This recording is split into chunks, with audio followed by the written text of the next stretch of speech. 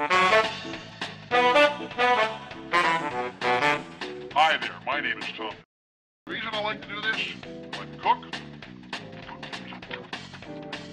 I love to eat, and I love to play.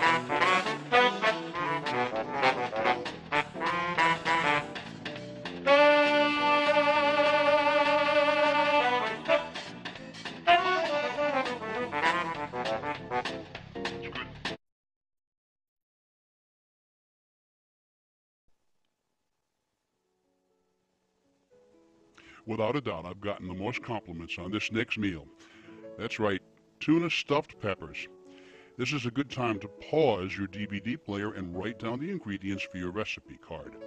As you can see, the ingredients are really not that many, but boy, what a meal this makes, and you have a lot of options depending upon your palate and your taste. The first thing I do is choose my peppers, and I fit them into the pan. So I'm going to make exactly the number of peppers that fit into the pan that you see here. We're going to be using that in the oven when it comes time. And I like to have, of course, my oil nearby. I like to have mushrooms. If you don't like them, leave them out. Onions, choose the one you like. I happen to like Spanish, I like white, and scallions. Vidalia are good too. Three cans of tuna, two or three cups of rice, a pint of sour cream, celery if you want it, and, well, one of my favorites indeed is tomato. Okay, what you want to do is cut the heads off those peppers and simply clean out all of the seeds, put them into one container and uh, you can cut off the tops too so we don't waste any food. If you decide that you want to grow some of those peppers, which you can do, it's really kind of fun, uh, just dry them out for a while and then plant them and see what comes up. That's what I have done and I've actually gotten some good peppers out of it. Now take your peppers and cut them into smaller bite-sized pieces, uh, somewhat even so that they cook evenly when we get to the stage where we're going to be cooking them. Always keep your fingers away from that sharp blade as I said before, I'm not a chef, I'm a cook. And uh, there's a difference. I don't have all the real techniques down, but I am careful. Now, if you like celery, slice it kind of thin, small pieces. I happen to like the flavor of celery when it's cooked. If you don't care for celery, it's not going to hurt the recipe, not one bit. The next thing, mushrooms. You can choose any kind of mushrooms. Uh, I chop them into very small pieces. I happen to like the consistency of a mushroom, but once again, if you don't like mushrooms, it's okay. It's not going to affect the overall taste of the recipe. It just adds a little bit more texture.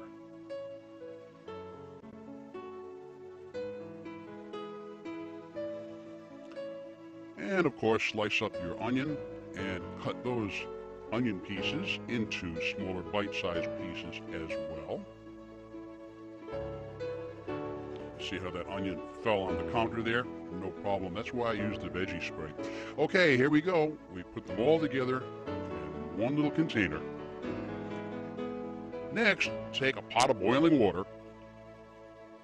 Take the peppers that we have caught and taken the heads off of and put them into the boiling water.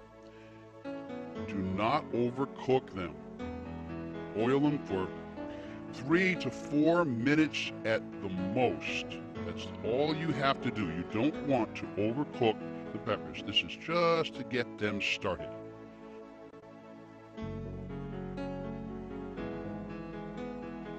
Next, what we're going to do is we're going to put some oil into the already seasoned fry pan. Set the heat, of course, on medium. See, I, I season my pans a lot. It really does help the nonstick capability. So if you haven't seasoned it, season it now. And go ahead and put some more oil into the pan. And what we're going to do is we're going to take the, uh, and by the way, this is an important part of this program. I always talk about this part of it. Uh, be careful around the heat. What you want to do is put your peppers, onions, the cut up mushrooms and celery, put a little oil on the top of that as well and set your heat at medium.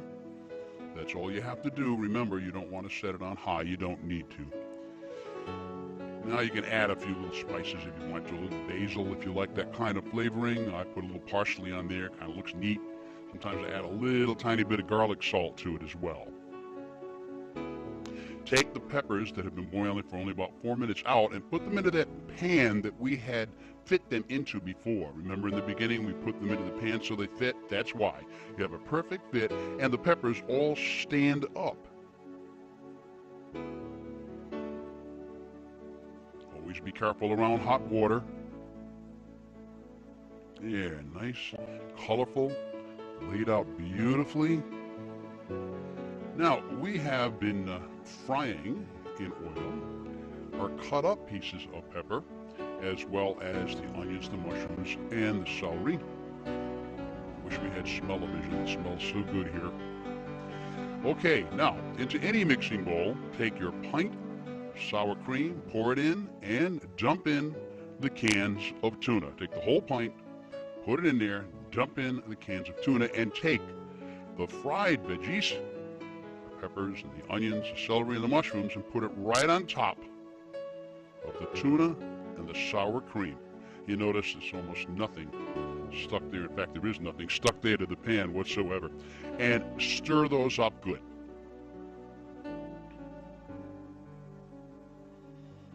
Don't worry about the sour cream getting warm.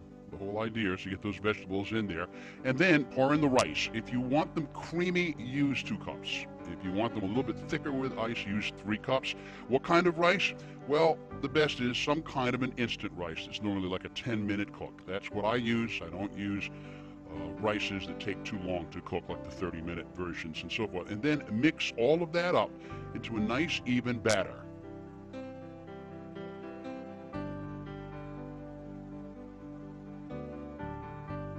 That's a nice consistency. If you want it a little thicker, as I sometimes do, put a little bit more rice in. By the way, the music that we've got going on here in the background is something that I do just to relax you as you're cooking. It's music that uh, comes from a variety of sources, including most of it my own music and uh, a few other favorites that I have permission to use. Stir it up good so that there's an even consistency. You're done with that part. Now, take a spoon and scoop out the entire mix and put it right into the peppers. That's tuna, rice, sour cream, peppers, onions, celery, mushrooms.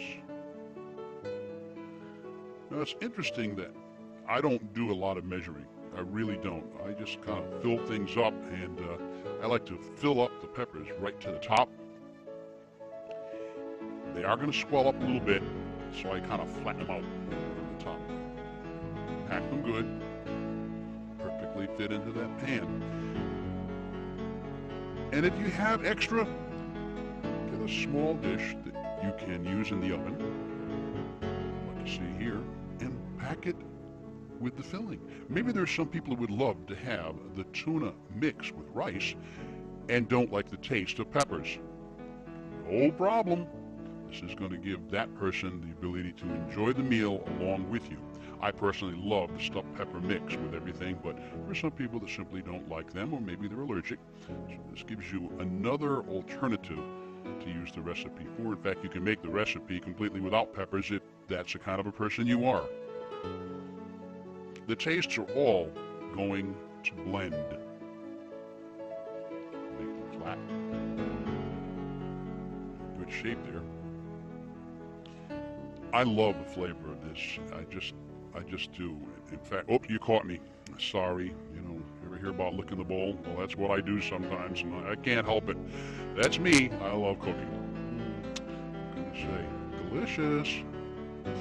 All right, the next thing you do is you slice a couple of uh, lemons just into some nice little cuts like this. And uh, do the same thing with tomato. And stick the tomato or the lemon right on the top of the peppers. Just a little added difference. Those with the lemon will acquire some of the lemon flavor. Those with the tomato which is kind of a nice garnish I love to use. And uh, this is another idea too that actually helps the peppers taste really good is to squeeze any extra lemon over the top. Preheat your oven to 325 degrees and bake for only 50 minutes. Make sure you always use gloves that are heat resistant. The cooking gloves, very important, and especially when you remove anything from the oven. When they're done, you will not only have some beautifully baked, oh, they are beautiful. I, I'm drooling here. Baked tuna stuffed peppers ready to go. Notice the two heat gloves are on. And you have those two little casserole dishes that I had with some extras there you can serve separately. And uh, they do not come out dry. I covered those. I didn't cover the peppers. You can if you want to, but they usually come out very moist regardless. And there you go. What a beautiful display and what a beautiful meal for anyone who loves anything to do with tuna, rice, and stuffed peppers. Kids love it when you put it in a small bowl, and that's right, beautiful for a picnic. Just heat them up, take them out. They'll still be warm. Some people even eat them cold. And uh, like a tuna sandwich is called, same idea. And uh, add some potato chips, and you're off and running.